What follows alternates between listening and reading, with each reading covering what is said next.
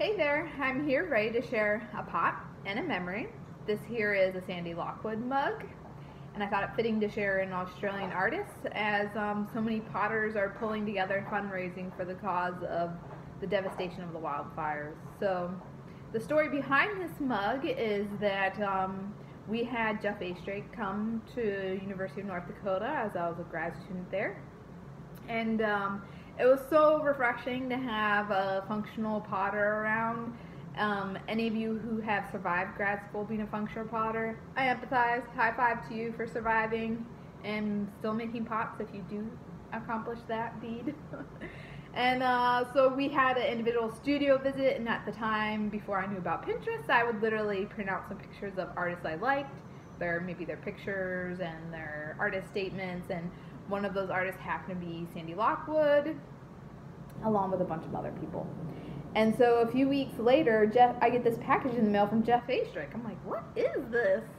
So I open it up, and lo and behold, there are two cups in there. One is a Sandy Lockwood cup, and the other was a Micki Schloessingk mug, I mean tea bowl, um, which both were people I had in my sketchbooks. And my student mate Jim was like, hey, what the heck? You're getting two cups. Let me see that note. And I was like, no, no, no, you can't see the note. Because at the bottom of the note, almost an afterthought, he said, oh, you should give one of these to your student mate Jim. And so he was very happy when he got a hold of the note and was like, ha one of those are for me. And so the entire time that um, Jim and I were both uh, grad students there, we had like this communal shelf um, that we'd grab cups down from for tea time that I corralled the, any all of them to do with me is tea time. Anyways, that's another story. I have so many more cups and stories and memories to share from my collection, but focus here. and so we would always, I'd always tease like, well, I'm gonna keep both of the cups, and he'd tease like, I'm gonna take both of them, and I was just agonizing and agonizing, like, which one do I keep? And, uh, well, since I'm holding the Sandy Lockwood mug, obviously I chose this one, but I also really love the Micki Schloessingk tea bowl. So there's the story of how awesome it was to have this time, like, speaking with another functional potter, and then the surprise of getting these cups in the mail. It was just such a thoughtful gift, and I'm still kind of wowed by it.